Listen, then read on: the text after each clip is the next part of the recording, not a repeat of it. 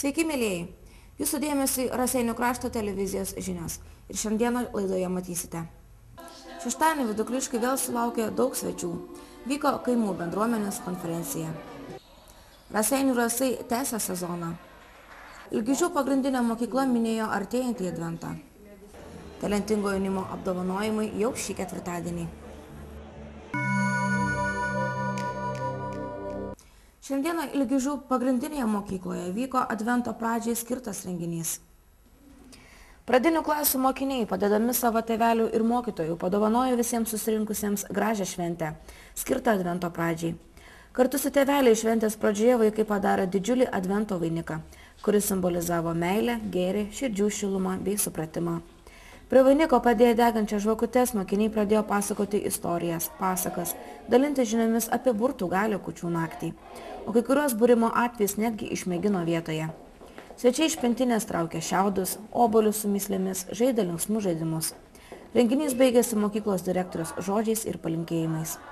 Tokia šventė Ilgižių pagrindinėje mokykloje vyksta tradiciškai, tik idėjos skiriasi. Jūs šiandien matėt e, jau mūsų tradicinį renginuką, advento vakaronė iš tiesų, jūs pastebėjot, kad ten vakarojo jie, nors tai buvo ir iš ryto. Bet e, tai yra renginys, kuris, bent jau mes taip stengiamės ir manom, e, kad kuris turėtų suartinti šeimą. Pastebėjot, kiek buvo daug tėvelių, mamų ir jie ne tik buvo pasyvų žiūrovai, jie ir dalyvavo, ir, ir kalbėjo, ir žaidė. Ir... Tiesiog tai yra renginys skirtas šeimai. Jeigu mamos diena yra skiriama tik, iš esmės tik mamai, tai čia mes taip stengiamės, kad tai yra pradinių klasių renginukas skirtas šeimai. Kiek supratau, aišku, ne pirmą kartą rengiama yra tokio pobūdžio renginiai. Iš ankstesnių metų maždaug, jeigu palygintumėm, kuo, kuo skiriasi šie metai? Kadangi tai yra, kaip mes ir juokaujam, pereinamas prizas pradinių klasių mokytojams, jos yra penkios ir kasmet vis kita mokytoja, kiti vaikai, kiti tėvai, kitos idėjos. Bet pats faktas, kad tai yra e, toks gana liaudiškas renginys, jis visada išlieka toks. Nes mūsų ir mokyklos vizija yra, kad puoselėjantį kultūrinį paveldą besimokanti mokykla. Ar tėveliai, mokiniai ir, ir visi mokytojai visi kartu nori įsitraukia, nori dalyvauja tokiuose renginiuose? Uh, sakyti, kad visi, mm, tai taip nėra, tai būtų vis tik melagystė. Bet uh, tikrai didelė dalis tėvelių dalyvauja mūsų visuose renginiuose, kur, kur, kur mes juos kviečiam, o kviečiam visada visur. Mes turim tėvų aktyvą, tai yra e, tam tikra grupė žmonių susidariusi kaip čia beveik stichiškai. Ir jie labai aktyvų žmonės, jauni pakankamai, siūlo mums įvairias idėjas, mums kaip mokytams, kaip, kaip mokyklos vadovams.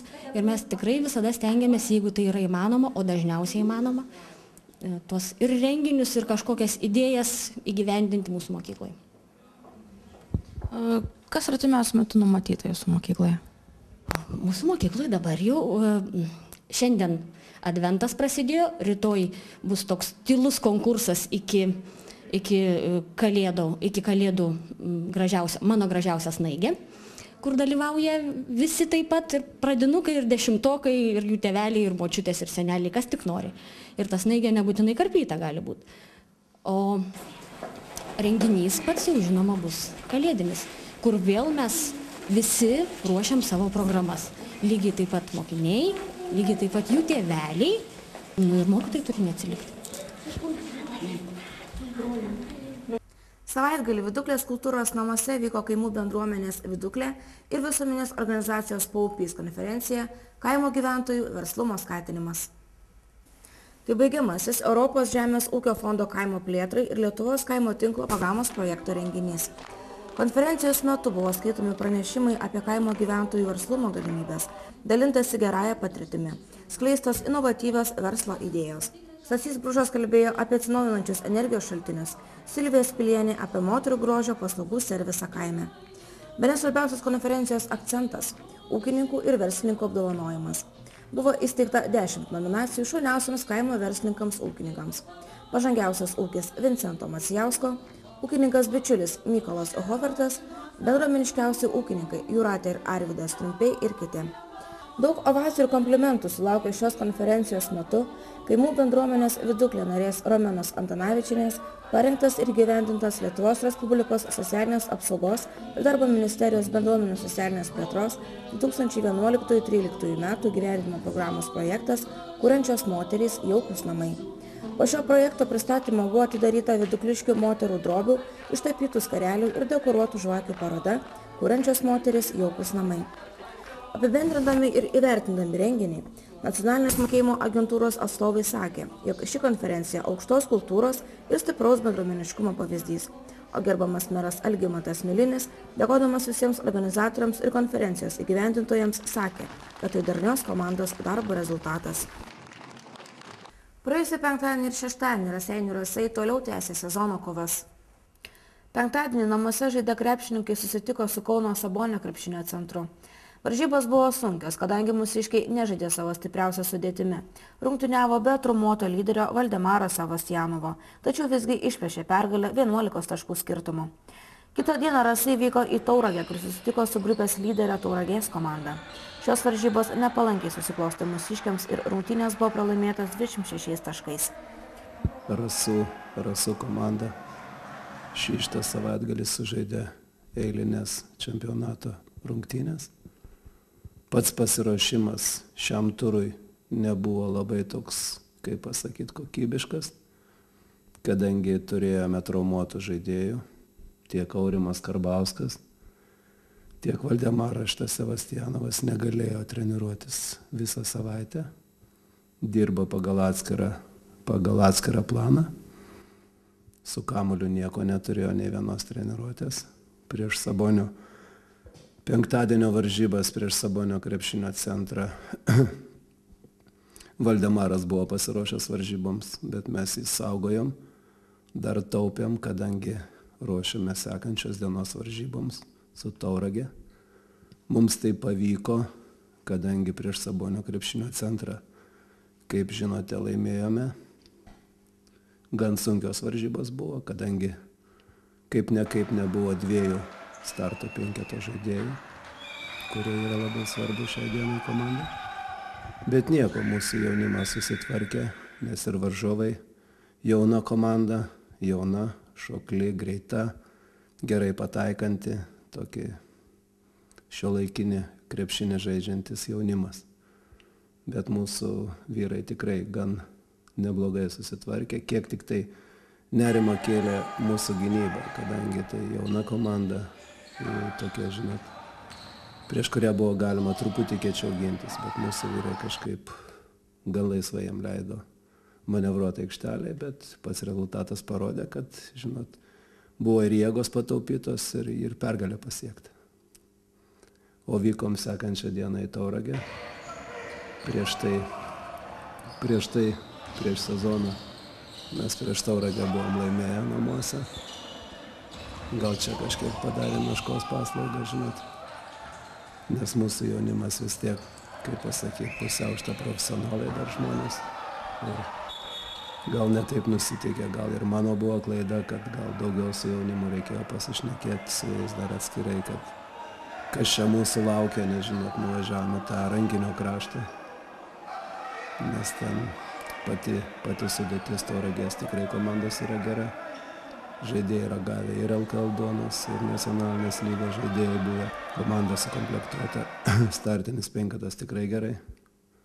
O mes nuvažiavom be, be savo vėl šito pagrindinio žaidėjo. Skaitykit, Valdemaras žaidė, bet žaidė, žinot, kaip pasakyti, pati rungtynio įgarodė, kad jis ten negali žaisti šimtų procentų, nes ir po traumos, ir pats, pats, pats pačios, pat, nu, patys momentai aikštelėje rodė, kad tai gali vėl iš naujo šitą atsikartoti tą traumą, kadangi buvo labai kietas žaidimas, varžovai mūsų negailėjo, pasakysiu tiesiai šviesiai, o tai leido, o tai leido teisėjai, kurie ten tas, aišku, aš čia nenoriu teisintis, nenoriu nieko, nieko kažką tai, žinot, kažkam tai numest tos, tos nesėkmės.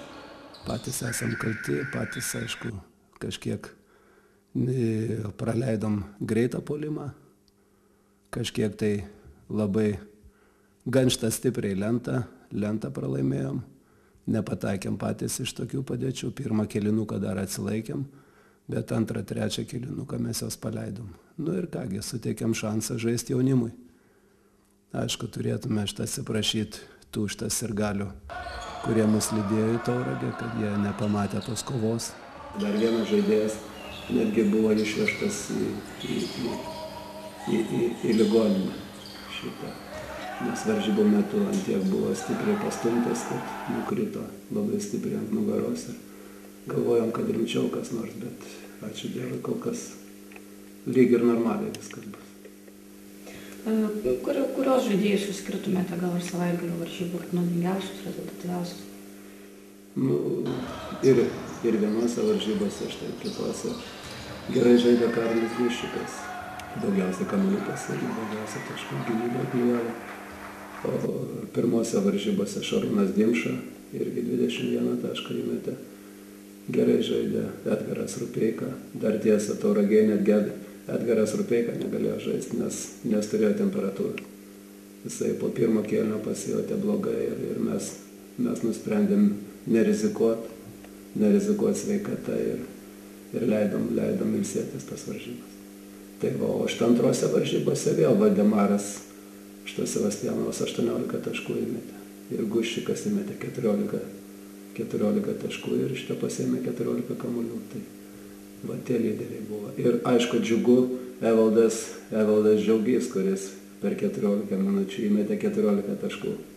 Ir šitą pataikė iš 10-10 baudų. Tai tikrai va, tokie momentai džiugina, kadangi tai tai nu, tokią paraišką žaidėjas padarė, kad jis jau, jau pradeda belstis kažkur ilgesniam laiko aikštelėje likti.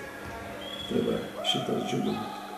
Sekančios varžybos laukia su trakų bei klaipados komandomis. Kągi, penktadienį laukia, laukia trakai, tai kol kas antroje vietoje esanti komanda nepatyrusi pralaimėjimų. Nepatyrusi pralaimėjimų. Ir, ir šeštadienį laukia klaipados LCC komanda, šita studentų komanda. Tai va, tai su, čia labai yra šitas svarbus turas. Jeigu mums, mums pavyks išsigydyti iki to laiko savo, savo traumas, žaidėjų traumas, tai tada bandysim, bandysim nugalėti. Su kuriuo jūs iš jų žaista namuose, priminkite žiūrovams, kad ateitų palaikytų namuose aš, aš dar pradžią norėjau, norėjau padėkoti, nes jau matėsi, kad jau daugiau žiūrovų buvo paskutinėse varžybose, kai žaidėme su Sabonio krepšinio centru. Tikrai džiugu, nes žinokit, tie patys žaidėjai, jiem irgi labai svarbios emocijos yra, kad jos kažkas matytų, jos palaikytų ir jie tada dar daugiau stengiasi ir, ir tai veda prie, prie geresnių rezultatų. O mes žaidžiame dabar šeštadienį žaidžiame 14 val. karpiniai, žaidžiame su, su Klaipėdos LCC. Šį ketvirtadienį pirmą kartą vyks geriausio ir aktyviausio jaunimo pagerbimo ceremonija, kurios metu bus apdovanoti šeši geriausieji.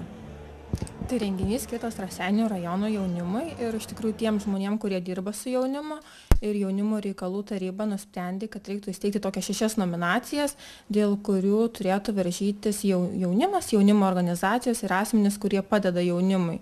Tai mes įsteigėm tokias, manome, bazinės nominacijas. Tai pirmiausia yra jaunasis lyderis, taip pat yra jaunimo iniciatyvos, jaunimo organizacija, jaunimo renginys jaunimo partneris ir kas daugiausiai, kokia organizacija didžiausias indėlis yra Seinio rajono. Nepraleiskite progos pamatyti ir susipažinti su aktyviausiu ir labiausiai savo kraštą mylinčiu jaunimu. Renginys jau šį ketvirtadienį 17 val. kultūros centro didžiojoje salėje. Tai tiek naujienų mes mus buvome paruošę šiam kartui. Su naujausiamis žiniomis jūsų dėmesio lauksime rytoj lygiai 18 val.